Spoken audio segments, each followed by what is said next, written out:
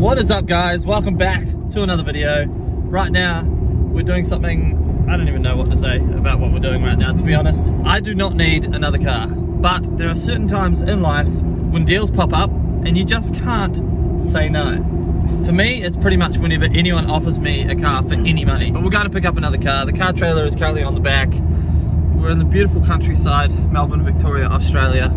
Potentially breaking a couple of rules, but hey, rules are made to be broken. What up Dan Andrews, if you're watching this video, shout out. Good job mate.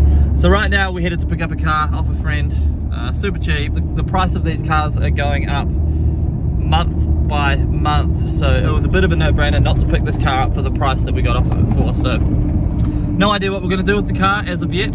We do not know the condition of the car. I know it runs. Other than that, it's sight unseen. So who knows the condition of the body, which is, you know, the best way to buy a car in my opinion. So yeah, perhaps we'll uh, let you guys decide what we're gonna do with this car um, once we see.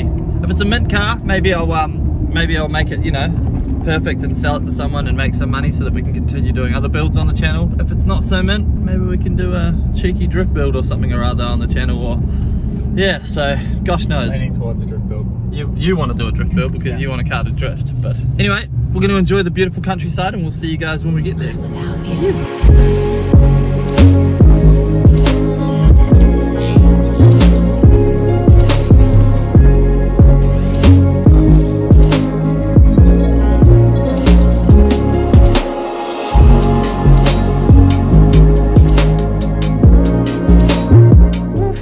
Check it out. This thing is not a nugget at all. It's brand new, straight off the lot. But it starts, runs and drives and it's manual, so thank you Robert. Appreciate it. We're gonna drive this on the trailer, take it back to the factory and we're gonna suss it out and definitely not do a skid in it. That was condition to sale. yeah, That was condition to sale. I'll send you a video. Expect it now. Oh God, what have I got myself into? All right, It's gonna be funny if you can't. let's load it up. Sorry, my foot got stuck.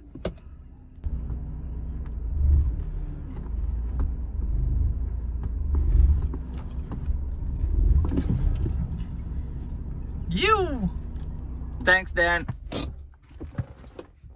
Oh, there's a forest in this thing. Hey, hey, hey. It builds character. okay? Holy crap. Start singing Disney songs and you're on your way to happiness, A alright? whole new world. Wow. Spider webs. This is gonna be a journey, guys.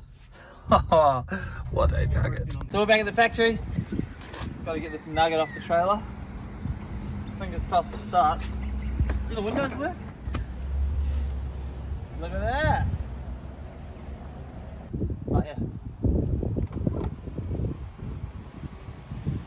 Okay, that's rare.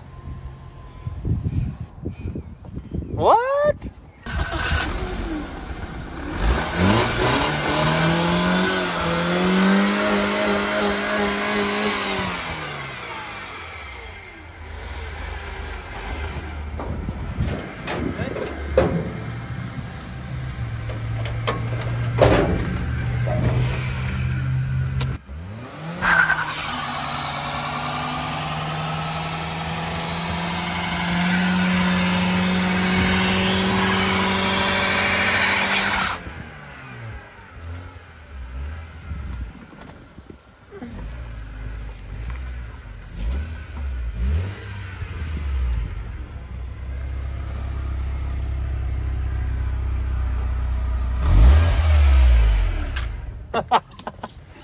It works.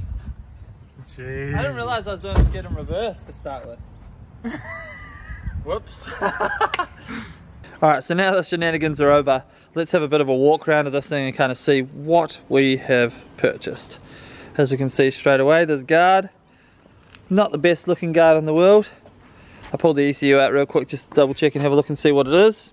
But the car itself runs beautifully. Driveline feels like it's great. Does what it should do, shifts smoothly. As you see the sunroof works, so that's fantastic. Missing a couple of plastic trims. The car is obviously extremely dirty. Bumpers kind of hanging off here. We've got a forest going on up here.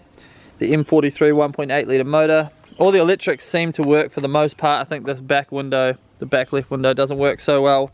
Man, it's so manky on the inside. It's like gross, but at the same time, it just begs for someone to clean it. Like, it's gonna be really satisfying when we do it. But yeah, for the most part, it's, it's pretty straight. I mean, when you get to here, a tree has obviously hit this and smashed the back window, which isn't the best. I think the back window is about 350 bucks to replace. Back corner has had some kind of a wall tap.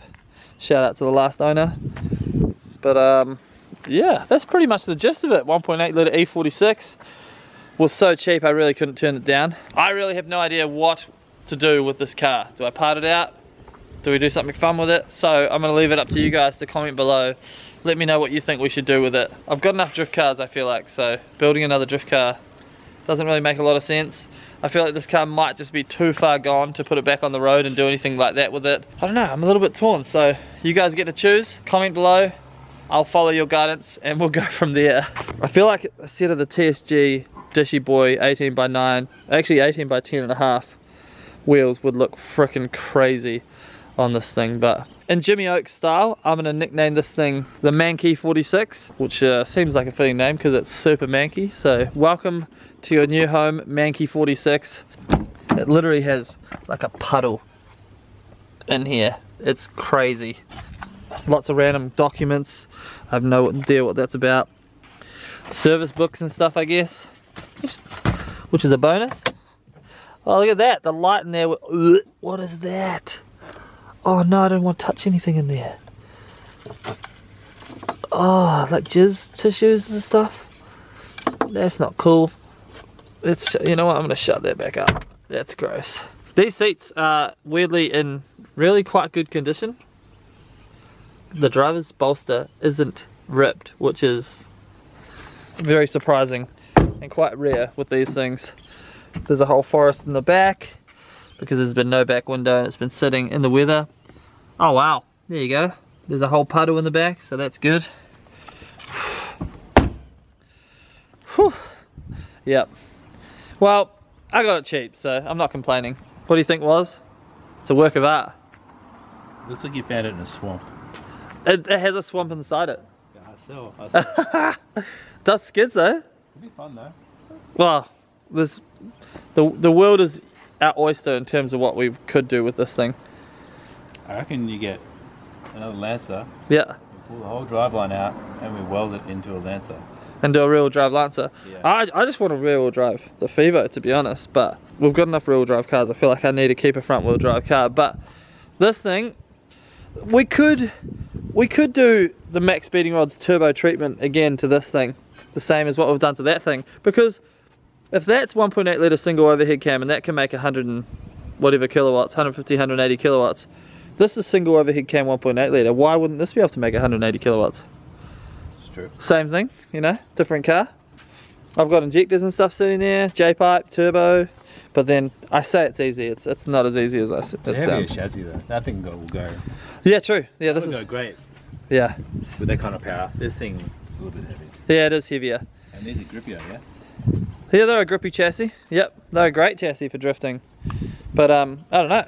Unless maybe um, I don't know, we could build another drift car as a giveaway car.